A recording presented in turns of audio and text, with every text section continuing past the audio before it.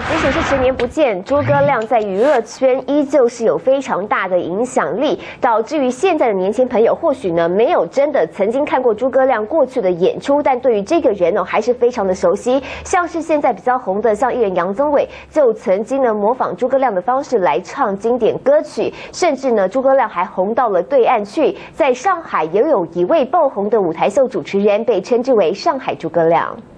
人间蒸发十年的诸葛亮，到底影响力有多大？先从国内演艺圈看起。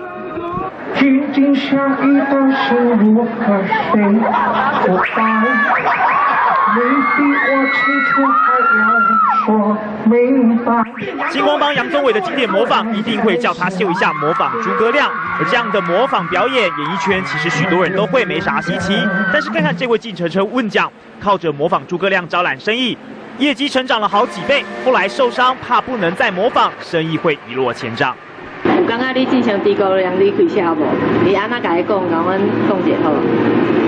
哦，诸葛亮啊，你当时咧开警车，讲开足久呀。更夸张的是，连大陆脱口秀主持人名字也要取一个“亮”字，被称为是上海的诸葛亮。十万和一百万是多一个零少一个零，这个一存在的时候，多的零才有意义，